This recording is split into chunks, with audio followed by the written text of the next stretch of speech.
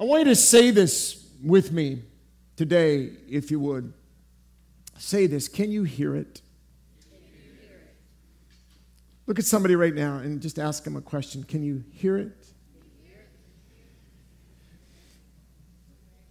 Psalm 103 gives us a, a little bit of insight about God. It says that Moses knew the ways of God, Israel knew the works of God. Now, it's one thing to know the works of God. You can see what he's doing. The problem, however, with only knowing the works of God is that if God's not working, we don't think he's acting.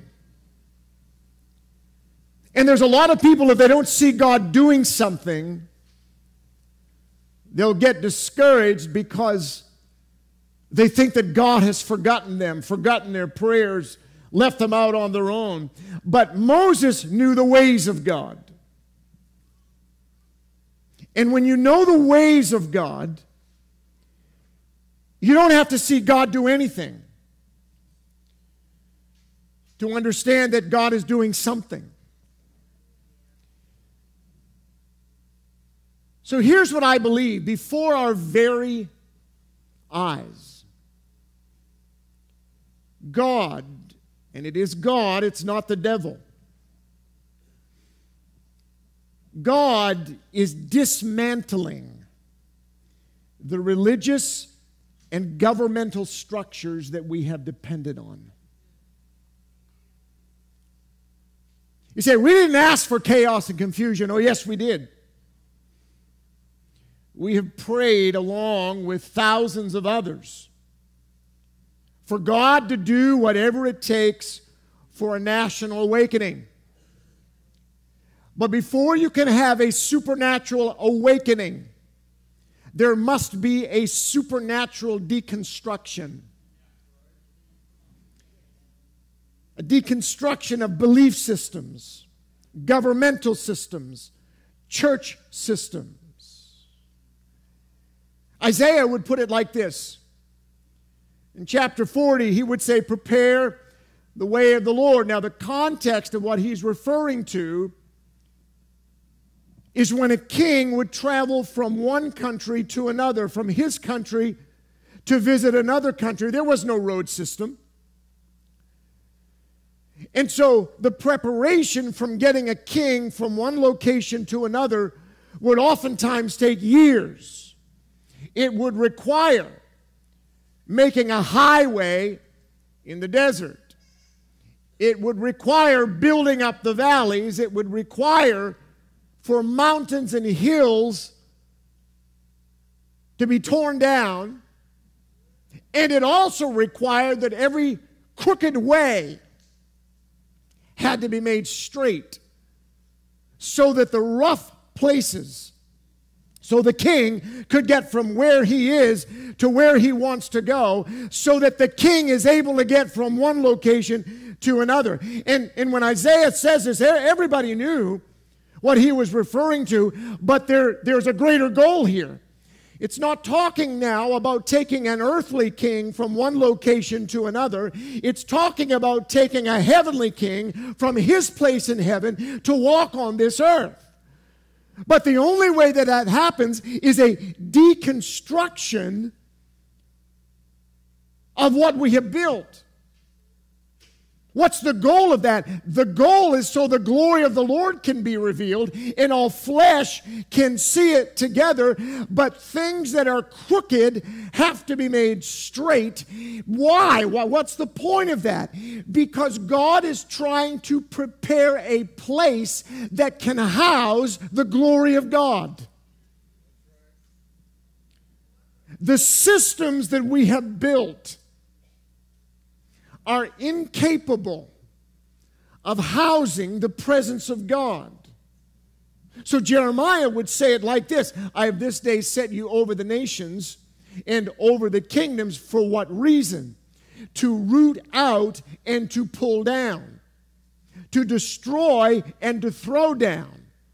That happens first, then to build and to plant. If you want revival in your home, and really that's where revival, the outpouring of God's Spirit begins, it begins in your family. If you really want that to take place, then expect God to deconstruct your family before He can construct your home to house the presence of God. You say, wait a minute, I, I, I, prayed and I asked God to do something with my husband, my wife, my kids, my, my family, and, and it, went, it went crazy. That's God. Because God has to deconstruct before he can reconstruct. Because what we have built, let me say it again, our church systems, our governmental systems, many of our business systems, they haven't, we built them, but they have not been built to be able to house the presence of God. So when you start praying, and asking God, well, Lord, I need you to do something, then God will begin to deconstruct and you will think it's chaos, but it's God. We thought we were praying about an election. God says we were praying about an intervention in the broken systems of a nation. Many of you know Andre Van Zyl. He's been here a number of times. He's from South Africa. South Africa had this massive prayer meeting a number of years ago. Multiple tens of thousands of people gathered together to pray for the nation, and the nation went into chaos. You, you, you got you to see what's going on here, folks. You have to understand that God is at work in this nation. You say, but I don't see it. That's the works of God. You have to understand the ways of God. Because everything God does in our lives is to deconstruct first so what He constructs can stay built. So let me just talk to you about something for a moment. Give me like two or three minutes. Maybe a little longer. Somebody will accuse me of lying. How do I get there? How do I get there personally? How do I get there in my home? Because God's interested in your family. This is one of the reasons we're we're taking a lot of time this year to help your home, to help your family. Because if it doesn't happen there, it doesn't matter what happens here.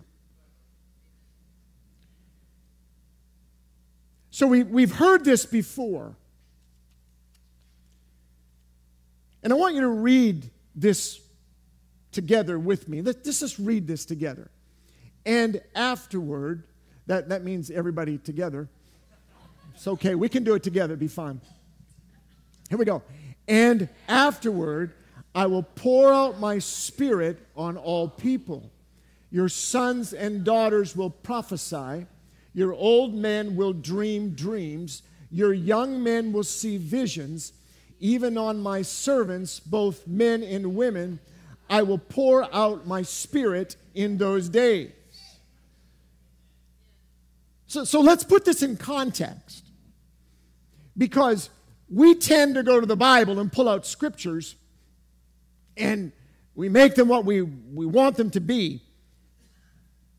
But let's talk about this for a moment because we won't understand this until we understand the context of the book.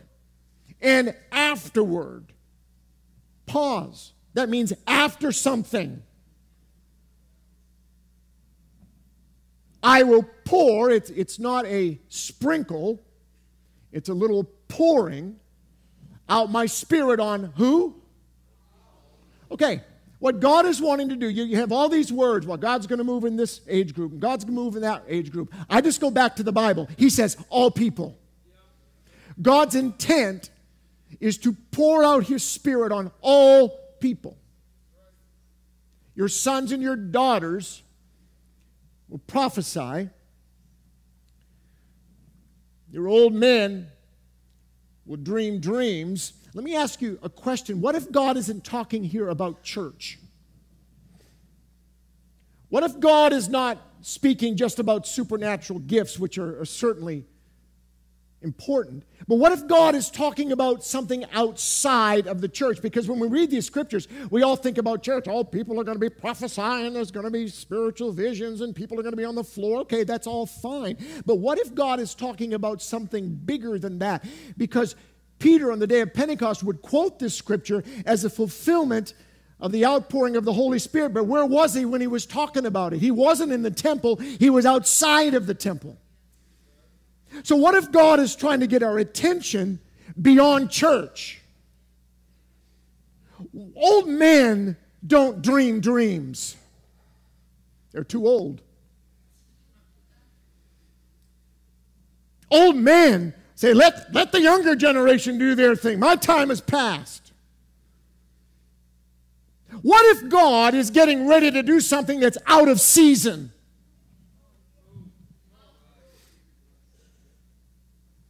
What if God is getting ready to do something that shouldn't happen? What if we're not talking here just about spiritual dreams of revelation, but what if we're talking about ideas? What if we're talking about God putting dreams of businesses that are led by, inspired by God's Spirit, doctors, nurses, people in entertainment, people in the media, people in government. Some of you should be running for office. Please. We tell people to serve in church. We've got this down. We've got the church thing down. But, but we've left the rest of the culture up to other people because we thought that, well, it wasn't necessary. If we just get the church thing down, we'll be good. Listen, I believe in this church there are people who have the ability to influence the world. Literally, I'm not, that's not just sales talk.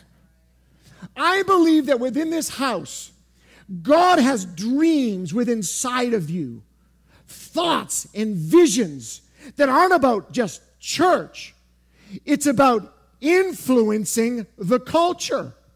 Let me ask you a question. How many people does it take to influence and change culture? And we say, wow, we, we're going to have mass conversions. Well, we, I believe in that. But it doesn't take very many people to shift the thinking in a culture. Let me prove it to you. Take the LGBTQ community. Less than 3% of the population actually identifies with that, and yet entire nations are bowing to that agenda. Why? A very few people in high positions with money have shifted the perspective of a culture. What would happen if there were people, godly people, that said, I don't just want to go to church, but in business, education, family, the arts, entertainment, science, medicine, and government. What would happen if some of those people got in position? It doesn't take a lot of people, it takes a handful of godly people in high positions with influence. The potential of it is that they could shift the culture. What if God is talking about the culture here, not just church? What if He's saying that on my servants, men and women, women, I'm going to pour out my spirit in those days to actually shift the perspective of a nation. Now, how does it happen? One of the, one of the amazing things about the Bible is that it, it's the most relevant book that's ever been written. It, it's not 2,000, 5,000, 7,000 year ago history. It's relevant to today. So put this scripture in the context of the book of Joel. The context of the book of Joel is not about the Holy Spirit. Joel doesn't have anything to do with the Holy Spirit except that verse.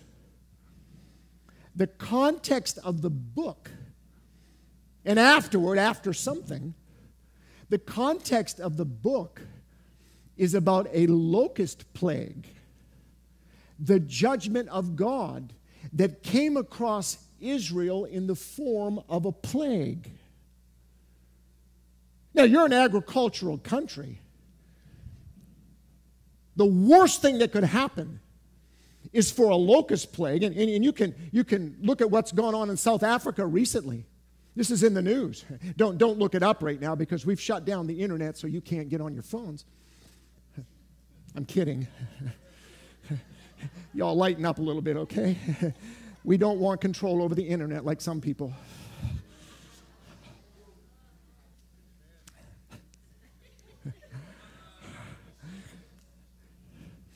Read what's going on in some of these nations that have had locust plagues that have swept across their land. It destroys everything. And when you're an agricultural society, if you don't have the crops, you can't live. And so Joel begins to talk about a plague. In their case, it was locusts a plague that starts sweeping across the land. So, watch this. Watch this with me. What's, what's the first thing that Joel was saying? Joel chapter 1, he, he, he identifies and says, Hear this, you elders. Look at somebody and say, Can you hear this? Hear this, you elders. Listen, all who live in the land. Has anything like this ever happened in your days or in the days of your ancestors? I said to my mother, who was 93, and my 96 or 97 year old uncle, who's really sharp. I said, You ever seen anything like this? I asked them both. They said, Oh, we've never seen anything like this. Tell it to your children. Let your children tell it to their children and their children to the next generation. It would be something so cataclysmic in a generation that it would be a story to tell for generations. And then Joel will say this What the locust swarm has left, the great locusts have eaten. What the great locusts have left, the young locusts have eaten. What the young locusts have left, other locusts have eaten. What is he talking about here? He's talking about the four stages of a locust from birth to adulthood.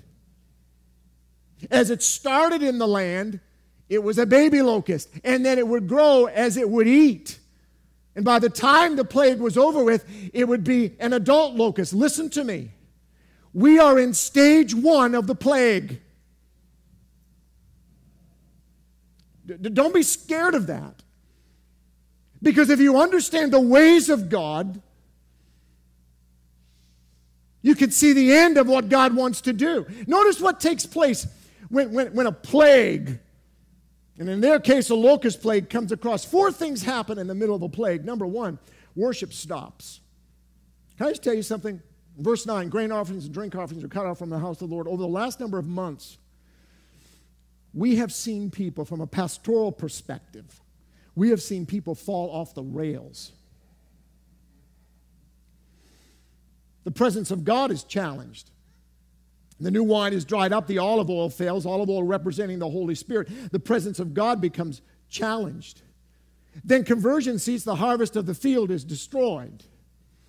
People wonder where God is at. And let me just say something to you. Just because something's not happening in your corner doesn't mean God's not at work. So don't, don't base what God is doing upon your own experience. Take a look at the big picture and see God at work. And then for a lot of people, when the plague happens, joy disappears. Surely the people's joy is withered away. So, so what does God say to do through the prophet Joel? We all want to get to Joel chapter 228, but that's way down the road from this book. Because it doesn't start with 228.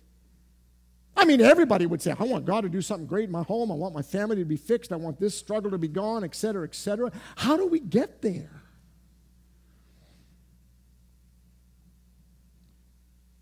Joel will reveal to us this simple process.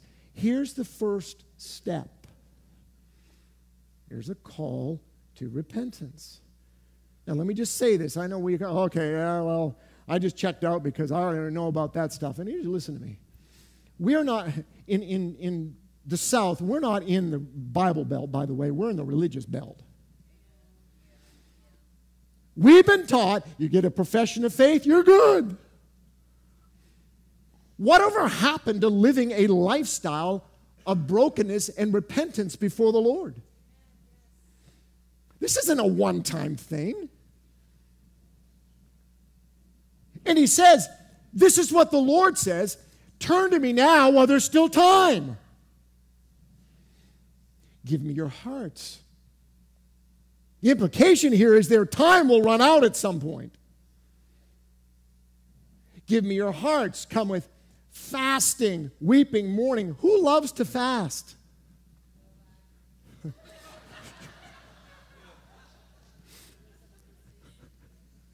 You are right. that pastor just loves to fast. He needs therapy. No, I don't like to fast.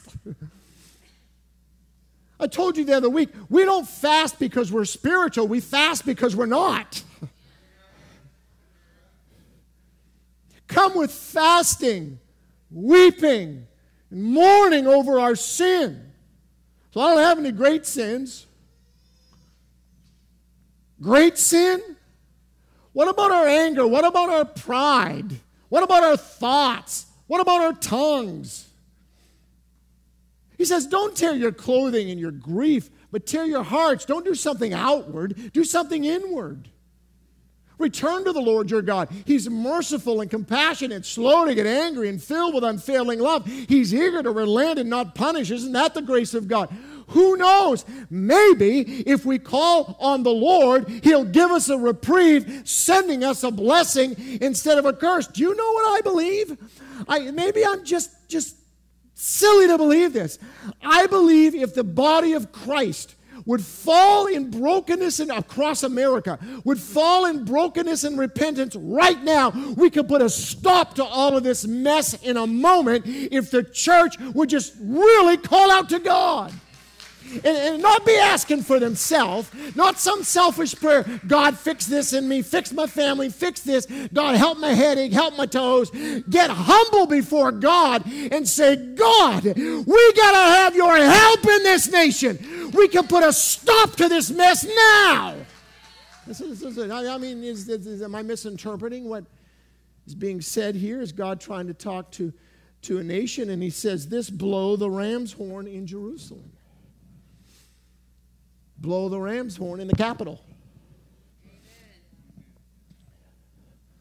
Announce a time of fasting, not marching, fasting. I'm afraid that our politics has taken over our relationship with God, and we don't know the difference between the two. You get upset with me if you want to. I don't care.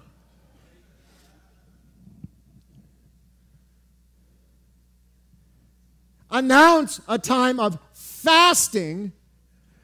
Call the people together for a solemn meeting of brokenness. Gather all the people, the elders, the children, even the babies call the bridegroom from his quarters and the bride from her private room. That's their wedding night. Shift everything, change your schedule. Let the priests who minister in the Lord's presence stand and weep between the entry room to the temple and the altar and let them pray, God, spare your people. Don't let your special possession become an object of mockery. Watch this. Don't let them become a joke for unbelieving foreigners.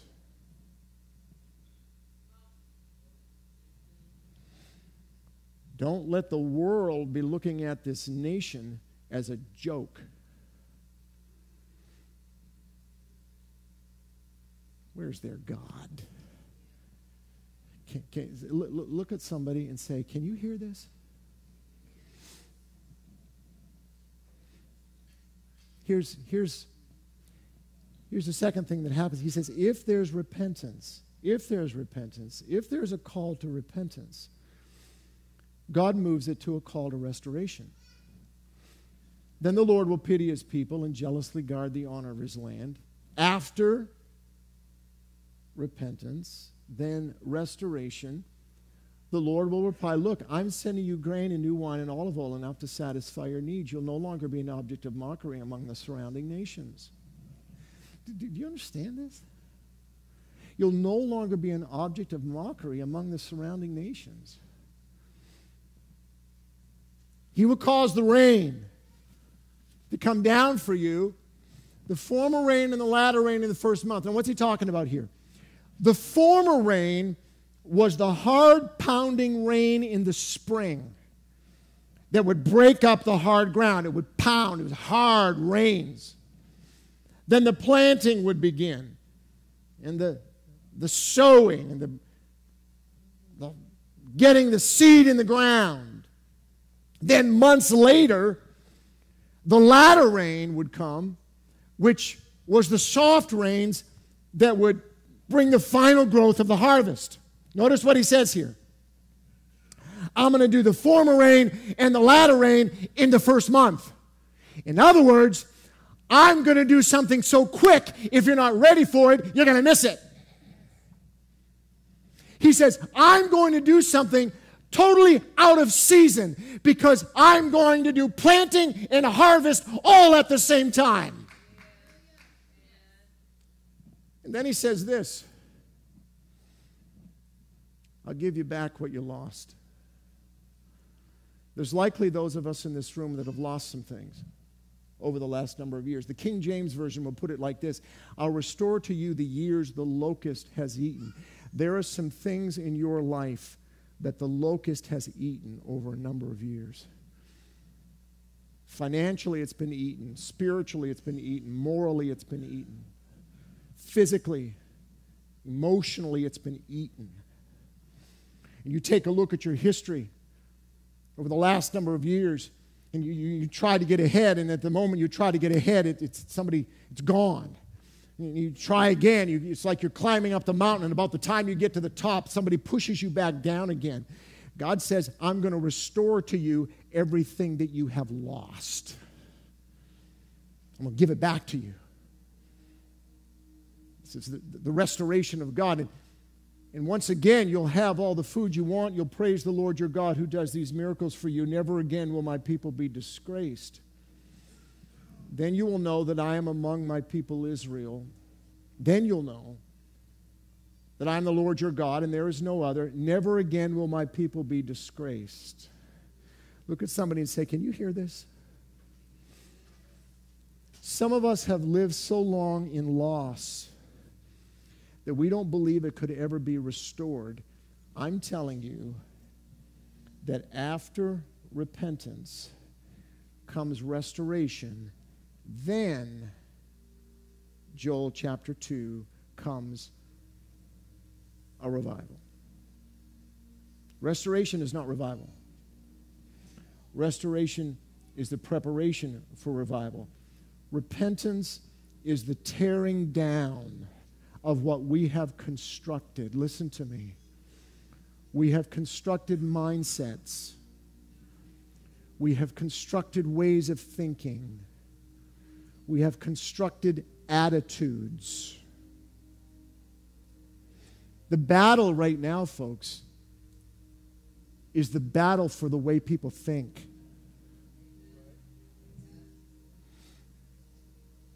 In whom the God of this world has blinded the minds of people, lest they should believe the light of the glorious gospel of Jesus Christ.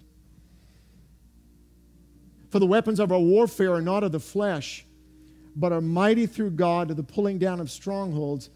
What are strongholds? We think strongholds are some demon sitting out here holding on to somebody. He says, casting down imaginations and every thought that exalts itself against the knowledge of God. What, what is a stronghold? It is a way of thinking that is opposed to God's way of thinking.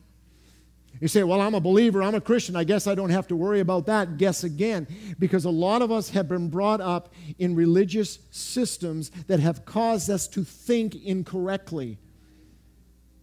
It's happened within our own families. We, we, we learn from our families, we learn from our friends, and we've created all of these structures and ways of thinking. And we wonder why we cannot get a breakthrough, is because we have to shift the way we are thinking.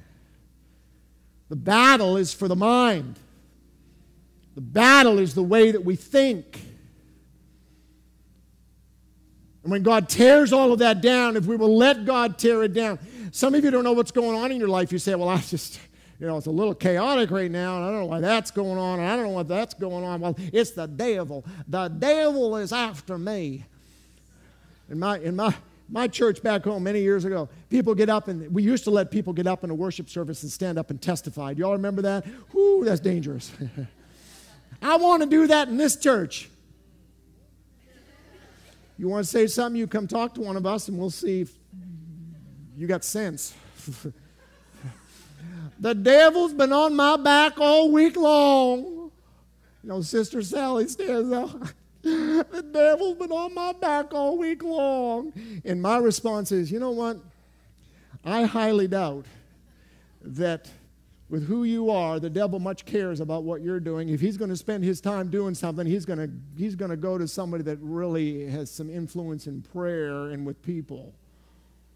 You say, you say, I don't like that. Look at me.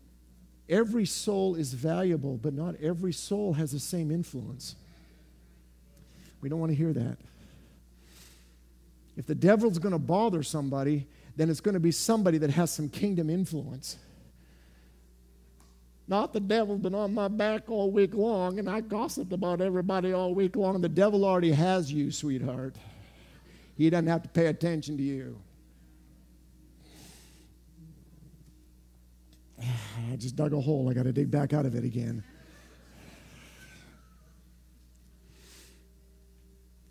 Then revival. I'm going to pour out my spirit. Then repentance restoration, and revival, not here. Sure, we want that. But it's not a revival if the city doesn't know what's going on. We had such a revival service, it was great. Did the city know? Nobody in the city knew what was going on. It was just a bunch of us Christians having a good time together.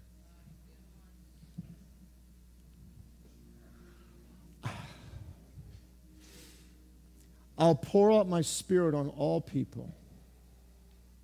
Everybody, not just one age group. Your sons and your daughters will prophesy. The testimony of Jesus is the spirit of prophecy. Your old men will dream dreams, and don't miss this. Your young man will see visions. In order for that young man to see his vision, that old man must dream his dream. Because God never intended for the generations to be separated, He intended them to be united. Because when I'm dreaming, they can see their vision. It's not one or the other, it's both. I, I don't understand that generation. I don't understand their music. My, my mother said to me one time, I was probably 15 years old. I remember this. I, she loved country and western music. Anybody ever heard of Charley Pride? He just passed away. Okay, you're looking at me like, I don't know who that is. It's good. Um, Conway Twitty. Anybody know who that is? Oh, y'all are showing yourself now. Okay. Merle Haggard.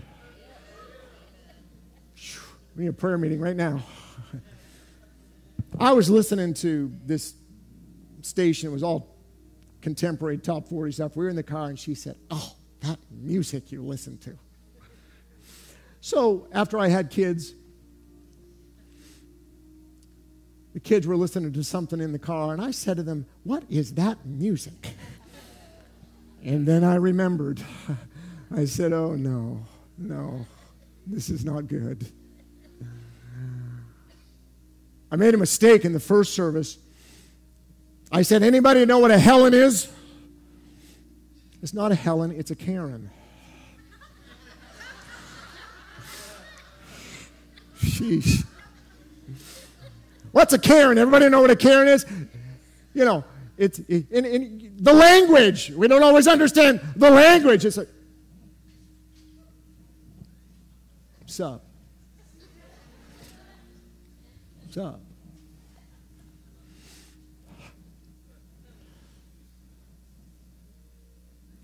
It's not one or the other.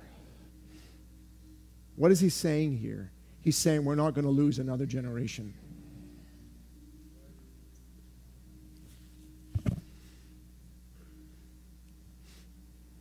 Let me just say this to you. I've been in this church 20 years this month. We've lost generations. God is saying, You're not going to lose one more. Because I am going to pour out my spirit, and they will never doubt who I am again. So that, that's what God's saying. This is why God wants to move within your home, within your family. So we're trying to help your family this year because we recognized what good is it if something happens here if it's not happening in the home. I heard this story about a man who he went shopping with his wife and which men just love to do and and uh, he disappeared. She didn't know where he was at. She calls him and she says, where, where, where are you at? He says, Honey, remember that jewelry store we went by the other day? She said, Yes. Remember that ring we looked at? And I said, One day it's going to be yours. She said, Yes. He said, I'm at the coffee shop beside the jewelry store.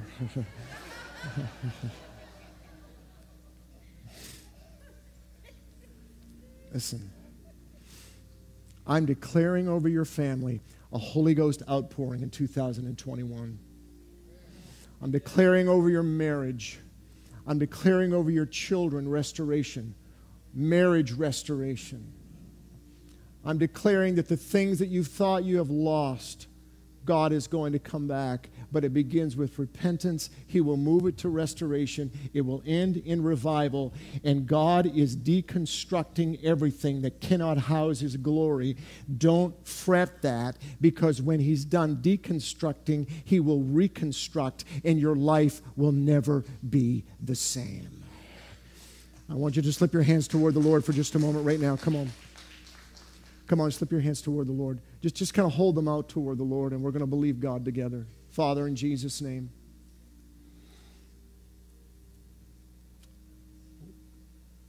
We're in significant need of you today. Our nation needs you, Lord, but we're the ones to influence the nation.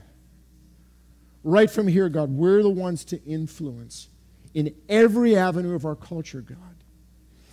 So, God, I pray in this room today, you'll raise up people in business, in media, in the entertainment world, in the arts world, in the education world, in the government world, God. I pray, God, that you will hear us, hear you giving us permission to move beyond just church. For an influence in our culture, God, it goes beyond Sunday morning.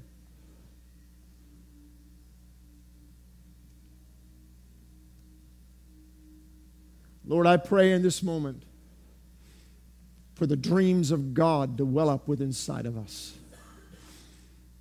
I pray that we'll see visions of the potential of what you want to do within us. God, kickstart us, God. Give us a spiritual crowd funding, Lord and natural funding, Lord, to be able to do what you have put within our hearts, God. Holy Spirit, we give you permission to deconstruct so that you can reconstruct.